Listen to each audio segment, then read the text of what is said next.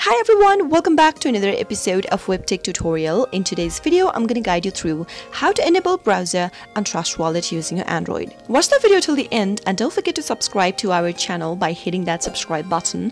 Also press the notification bell icon so that you'll never miss another upcoming update from us. In order to enable browser on Trust Wallet, tap open your Trust Wallet application first. Once you open up your app and you are logged into your Trust wallet, go to the settings button at the lower right hand corner from the main home page. Now, under settings, select preferences. You'll be able to see an option that says DApp browser.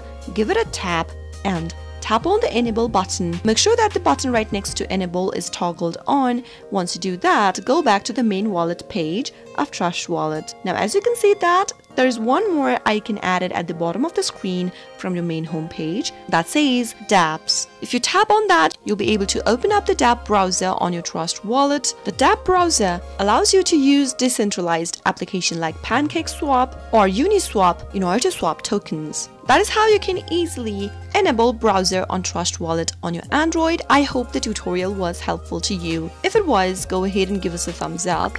I'll be back soon with more tutorial videos like this. Thanks for watching.